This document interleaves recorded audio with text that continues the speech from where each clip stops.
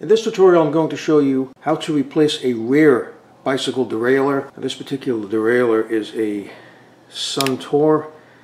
This is a vintage 10-speed road bike and I cannot find this new. So this is strictly an experimental type of repair because I cannot find this particular one new and I want a new one. So I found this one here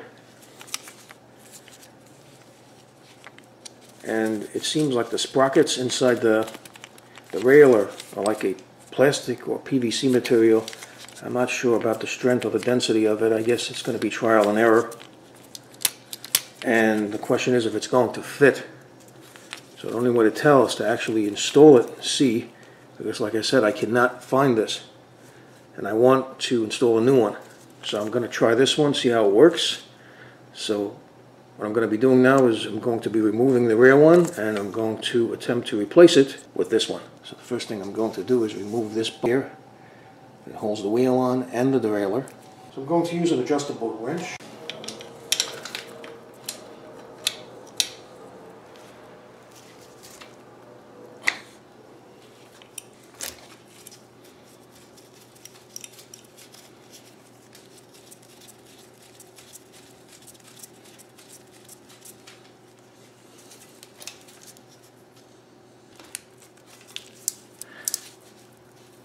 Okay, so I'm going to remove this.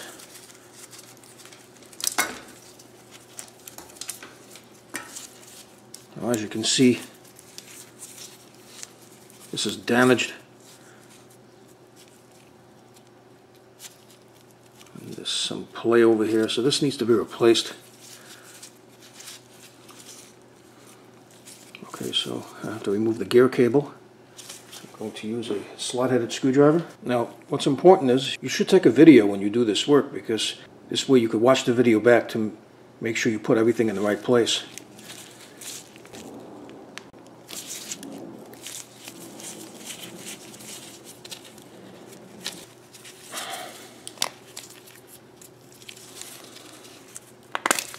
Okay. Okay, so that's out.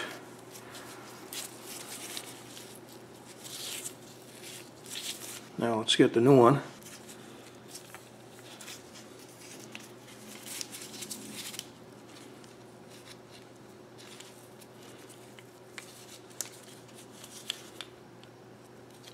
So it would be something like this. This sprocket needs to be removed. I'm going to use a Phillips head screwdriver to remove it.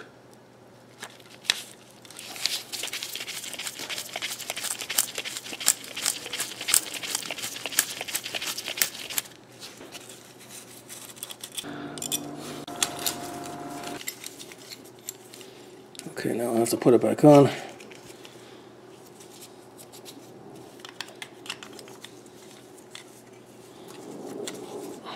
Okay, so here's what I did. I removed this sprocket by removing the Phillips head screw. There's a few compartments in there, like washers, and there's like a metal tube that goes through to hold on the sprocket. Once I removed this, it enabled me to get the chain inside because I pushed the chain through because this wasn't here, so I pushed it through. Then after I pushed it through, I then reinstalled the sprocket and now I was able to get it around. Now another way around this is just to cut the chain. There's a chain removal tool that you could use to push one of these pins out and then the chain is off so then you can just slide it through. So either way, that's how you get it through. So you could do that either way. That's the way I did it. It was more simple, just take the screw out and just reassemble the parts inside. You could just follow the other sprocket over here if you get confused how to put the parts back. So now it's on. So after I did that, then I put the derailleur on to the stem that holds on the wheel. And now it's on. Looks like it might work. The next thing I need to do now is to tighten this up. And then once I tighten that, then I can install the gear cable.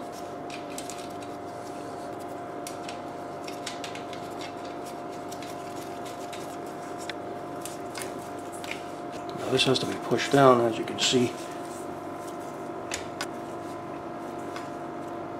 So you have to hold this down and as I hold it down I'll tighten it. Now it comes with this other hardware, but this goes right onto the stem. As you can see, this is a male connection.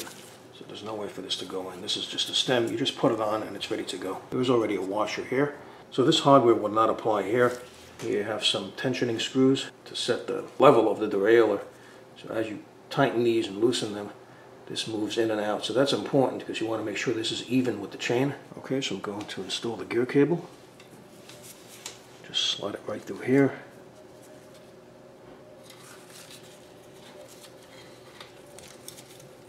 Just pull it out in case it's too deep and you could just pull this out because it retracted when I removed it. Then there's a nut here. So you just pull it. As I pull this out, to eliminate slack, I'm going to tighten this so.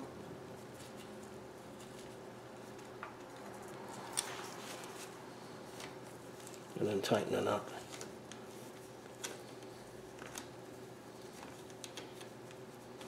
So I'm going to shift the gear. Let's see if it works. And there you go. Shifting. Now this has to be adjusted based on running the bike. You have to figure out if there's any more slack involved. You have to just continue to pull it and tighten it. Then you can also use these tension screws to further get it right. In order to make sure that it's properly aligned and tensioned. When you install it, the derailleur, you have to push it back this way and make sure this area, the bottom of the derailleur where it attaches to the wheel, has to be at the base right here. And then you tighten the nut so you don't have too much slack over here. So there you go. This was an instructional tutorial on how to replace a rear derailleur on a bicycle. So I hope you found this video useful. If you have, please show your support for this channel by subscribing. Feel free to leave comments. Please like up this video, and thank you for tuning in.